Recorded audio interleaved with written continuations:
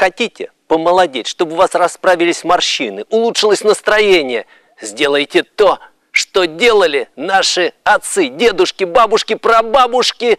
А для этого нужно только зима, солнце, белый мягкий снег и нужно лицом в снег.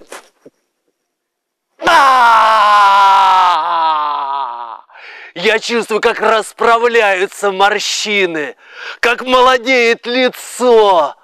А, теперь похлопать себя.